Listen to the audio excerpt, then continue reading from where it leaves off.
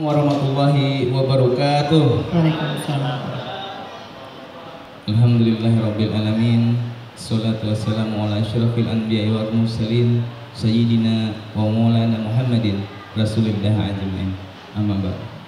Yang sama-sama kita hormati dan kita muliakan Bapak Ketua Dewan Pembina Yayasan Al Amin beserta seluruh jajaran Yayasan Al Amin Kota Kapuas yang saya hormati dan saya banggakan tentu seluruh jajaran pengurus Yayasan Al Amin dan para ustadz ustazah baik dari TK, IT, SD IT, SMP, SMP IT, Pondok Pesantren dan SMK IT Al Amin yang ada di Kuala Kapuas dan Pulau Petak.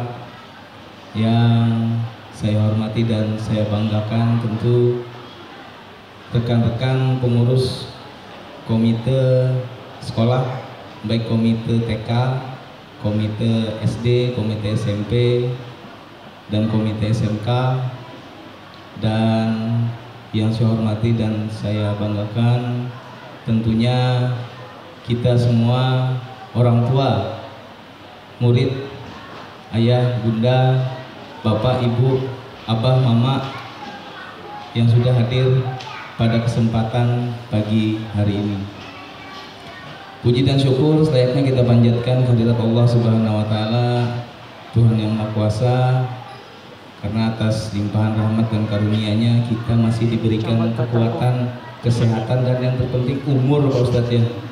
Kita pada tahu bulik dari sini apakah masih ada jaminan umur kita bertambah atau berkurang wallahu a'lam. Dan dan tentu solawat serta salam senantiasa tercurah kepada junjungan kita Nabi besar Muhammad Sallallahu Alaihi Wasallam kepada para keluarga, sahabat, serta kerabat dan para pemegang risalah beliau hingga akhir zaman. Bapak Ibu sekalian yang dirahmati Allah, pada hari ini kita sama-sama nanti akan melaksanakan kegiatan uh, seminar. Kegiatan seminar atau talk show. Ini kemasannya talk show uh, parenting atau bagaimana kita mengoptimalisasi peran ayah bunda untuk membantu tumbuh kembang anak anak-anak uh, kita di pendidikan maupun di rumah. Acara ini merupakan salah satu program dari Komite Sekolah Al Amin di mana alhamdulillah dari yayasan maupun dari sekolah 2018 ini lebih banyak melibatkan orang tua melalui komite untuk membantu sekolah dalam rangka mengembangkan pendidikan Eh, karakter maupun pendidikan lain bagi anak-anak kita.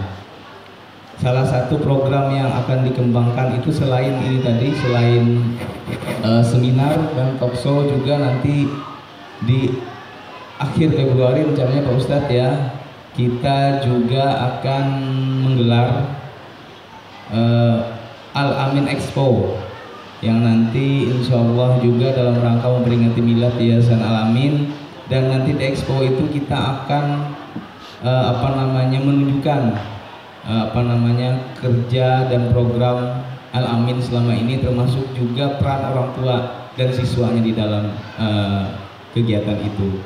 Nah nanti kami berharap semua kegiatan-kegiatan yang dilaksanakan ini peran aktif orang tua melalui komite sangat kami butuhkan hari ini salah satu bentuk dan wujud kita dalam rangka melaksanakan kemitraan kerjasama antara sekolah dan orang tua.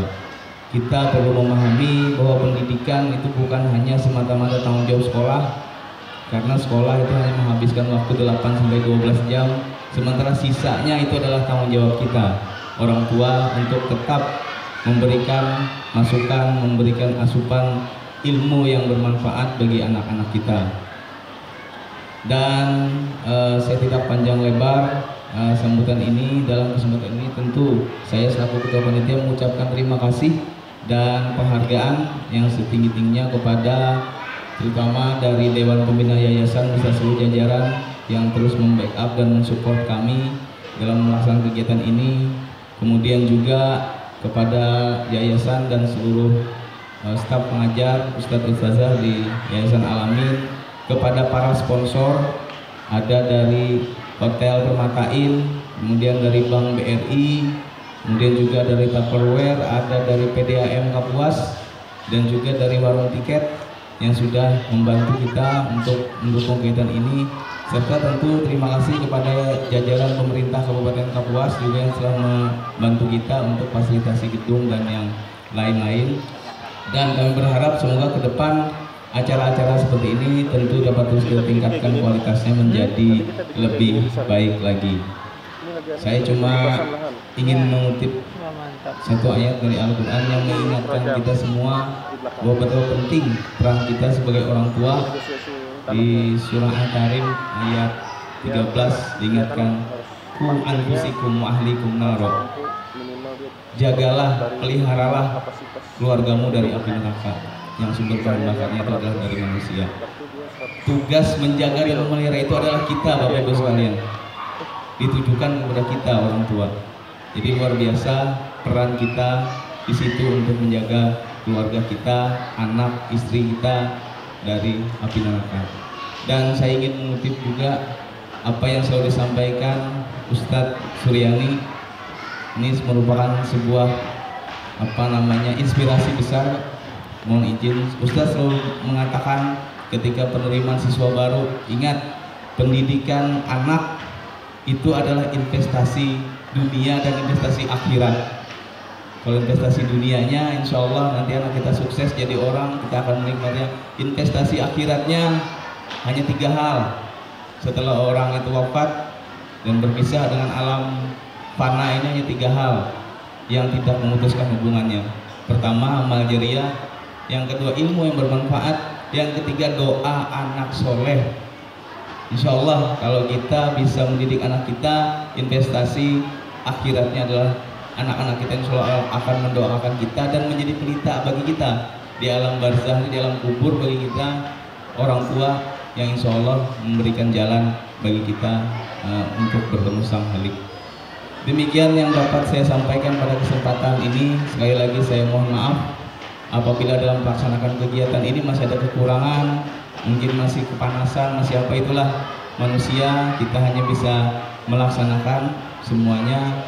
Allah yang akan menentukan. Saya akhiri wabillahi taufiq wal hidayah. Assalamualaikum warahmatullahi wabarakatuh. Waalaikumsalam warahmatullahi wabarakatuh.